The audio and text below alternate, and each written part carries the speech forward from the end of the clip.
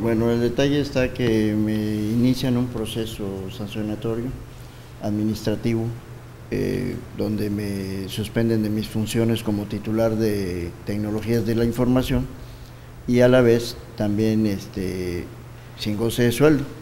Cabe mencionar que laboré la primera quincena de octubre, como lo venía haciendo siempre, y hasta este momento tienen retenido mi salario.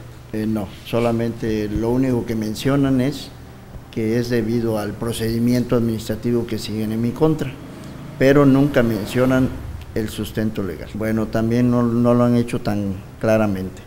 Han mencionado ciertos artículos, pero no en su totalidad, ¿no? Ha sido un poco, o no un poco, ha sido muy drástica la sanción que me ponen porque siento que en dado caso de que tuviera esa supuesta falta, que hubiera recibido alguna amonestación o alguna llamada de atención, un acta administrativa, lo cual no es así, entonces me sancionan y después me dicen, te vamos a investigar, o sea, no es posible eso. Bueno, eh, ahorita eh, el, que el, departamento que me levanta ese procedimiento es la Contraloría Interna, eh, cuyo titular es el contador Manuel Farfán Lara, y entonces este, ellos mismos hacen las investigaciones. No, el día 13 emiten ellos ese oficio, el día 14 a las 2 de la tarde me lo entregan, el día 15 me doy cuenta que no me depositan la nómina, llamo dos veces a la institución, tampoco me, me dicen que, que, hay instrucciones de no pagarme,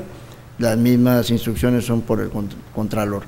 El día 18, sábado, me presento a la institución porque me llama administración que pase por mi salario y estando ahí vuelven a decir que por instrucciones del Contralor me detienen nuevamente el salario. Ahora, ¿en qué procedimiento vamos?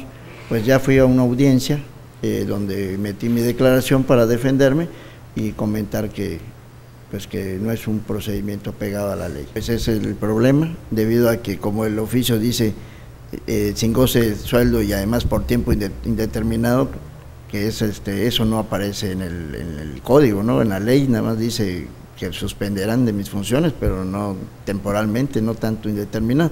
Ahora, ¿qué tiempo? Pues ahorita estamos esperando el resolutivo de ellos.